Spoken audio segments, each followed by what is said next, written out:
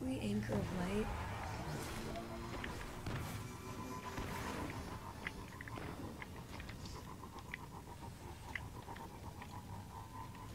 Yeah, this game actually kind of saved my life. Oh, how how's that? My wife passed away Christmas 2014, Oh wow, I'm sorry. and and I uh, I'm raising my 11 year old granddaughter. This um, all my family has already passed away. My son passed away nine months later. So Oh wow. It's intense. this this game keeps my mind. I'm I'm I'm retired, so this this game keeps my mind uh, pretty sharp. I mean, I feel like I live here. I have lucid dreams about being here. really?